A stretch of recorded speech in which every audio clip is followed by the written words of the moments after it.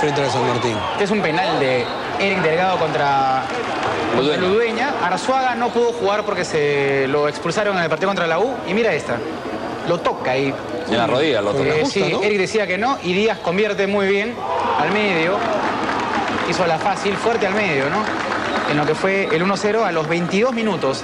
Y cuando iba a terminar la primera parte del partido, un primer tiempo parejo, ahí está jugada de contragolpe. En primera instancia no puede convertir Ludueña. Uy. En la segunda sí, de zurdazo. Ahora, me parece que en la primera eh, es el de Laurich el que, el que... No, la pisa Ludueña y se le corre la pelota. No, aquí es el de Laurich que llegaba, el que, el que la tira sobre su propio arco, creo que es Paolo Hurtado, y después ya del rebote de Delgado la termina metiendo Ludueña, ¿no? Pero era, un partido parejo, ¿ah? No, no estaba, había un par de tiros al palo de la gente de Laurich. Y esto es arrancando la segunda parte del partido, minuto 46. Este, o sea, minuto 1 de la segunda parte del encuentro, Silva sin marca, convierte y cierra el partido, ¿no? O sea, hasta, hasta este minuto pasaba lo mismo de Cusco, ¿no? Arrancaba la segunda parte 3-0. Pero aquí no pasó nada diferente y se mantuvo la diferencia. Gómez iba a ser expulsado. Se iba a quedar con 10 el Laurich, que hasta la primera parte, repito, ha sido un partido correcto, ¿no?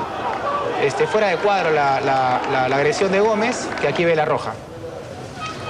y aquí va a venir el, tiempo, el sí. mejor gol de todos, ¿no? Controla bien cejas, tiene espacio, tiene tiempo, decide dónde ponerla y la pone ahí. Hizo cinco cambios a la San Martín con relación al partido que perdió contra la U. Más o menos, no, estuvo bueno. Más o menos, dijo, ¿no? Sí, no. Sí, El mejor gol del partido, ¿no? claro. Volvió Bayón, volvió Guisasola, o Bayón jugó lateral derecho, volvió Guisasola, jugó Ceja, jugó Silva en lugar de Arzuaga, jugó Inostroza ausente en el partido pasado. Candela va a descontar.